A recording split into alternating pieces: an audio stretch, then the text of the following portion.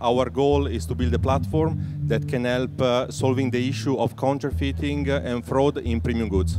In premium goods, how did you start the business? What led you into the world of blockchain and uh, premium good verification and authentication? I was working in the corporate world uh, as an executive for uh, almost 20 years, and uh, I was basically uh, facing three type of problems. Uh-huh. So one problem is uh, counterfeiting of goods. Second problem is product di- diversion, and the third problem is the lack of data from consumer inte- inte- integrated in producer database. And my last role in the in the corporate world was head of innovation, Uh-huh. and uh, At I which company? in uh, the Honeywell. Hon- Honeywell. Okay. Yeah. And uh, I saw the possibility uh, of, of uh, using Internet of Things and blockchain to solve these three headaches uh, for which I suffered uh, for 20 years in my life.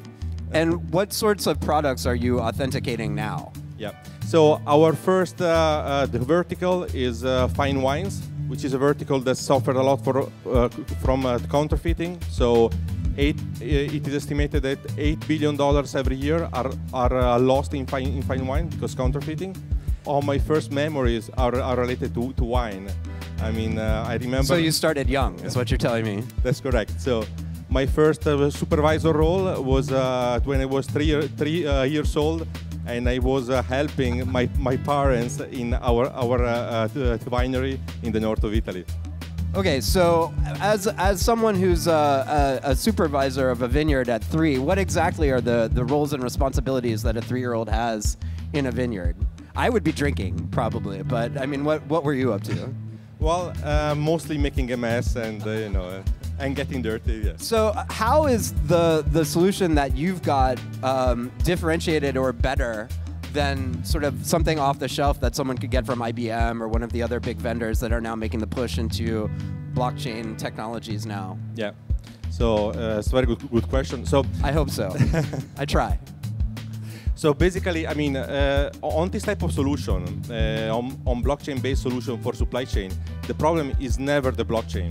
So it's always the element, the source of input uh, that is integrated with with uh, uh, to blockchain is, i- itself.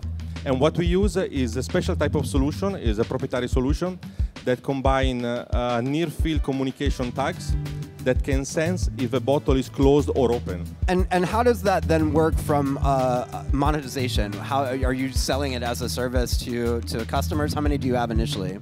There are basically two models. So, so, so one is a fee per, per product, but in uh, 2020 we are also launching a marketplace uh, that is going to be the most counterfeit-proof uh, uh, direct-to-consumer online marketplace for wine, and, and we will have a fee. What's the website for that? The marketplace? What's it going to be? Oh, it- it's going to be part of Acatena, our Okay. yeah. Well, then I'll be shopping there next year. Thank you so much, sir. Okay. Appreciate Thank you it. very much. Bye.